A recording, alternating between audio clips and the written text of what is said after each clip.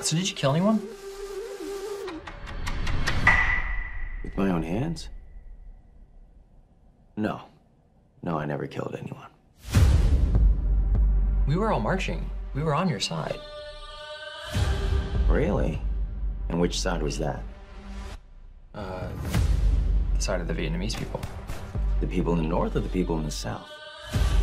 Well, all of them, I guess. Guess we all look the same after all, right? I mean, I could be Viet Cong for all you know. The spy. How would you know? I'm not, of course. I love America. Here in America, we welcome people like you.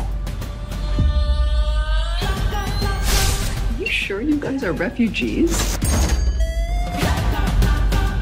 What if I told you that I was a communist? Undercover. Welcome to the world of spycraft. We sent you to America so you could be our mole. But what happens to a mole when it is suddenly thrust into the sun? This is counterintelligence. It gets wet down here. What are you concealing? I don't know if I can go on like this.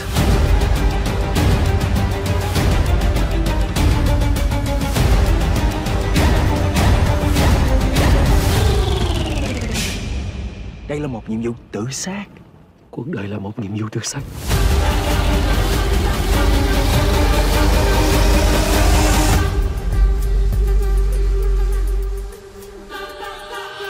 Oh, how about this? You work for me while pretending to work for them. You're a spy and a counter spy at the same time. You're a spy, right? Look